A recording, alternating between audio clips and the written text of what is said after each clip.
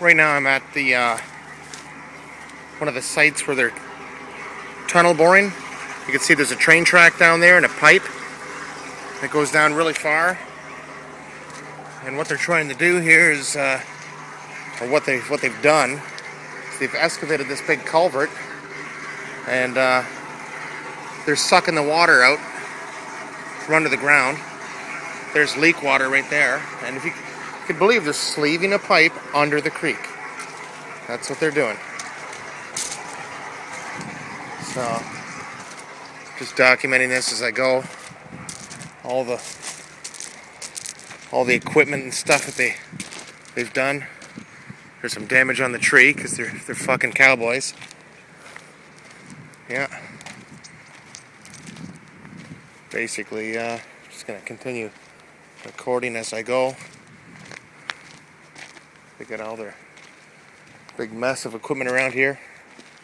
Here's some diesel, dripping fucking diesel fuel right onto the ground. Stinks like diesel under this thing, big time. It's dripping off the leaf springs. Oil. Yeah.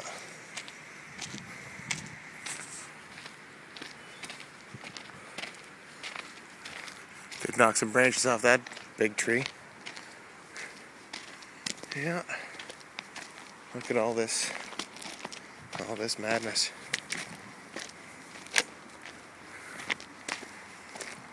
Yeah, so some great big pieces of log that they cut out of there. Now, what I know is that uh, the flow is so great that this boardwalk is just too too low and I can see in times of high flow this will be all underwater.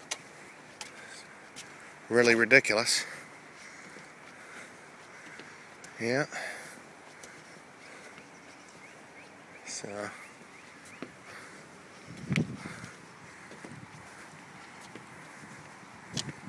Looking over here at the pond here.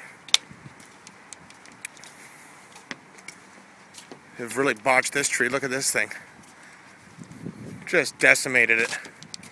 Completely decimated. How disgusting. Yeah.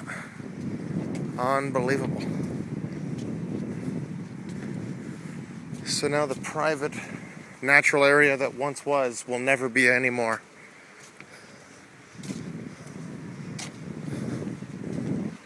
Yeah. So.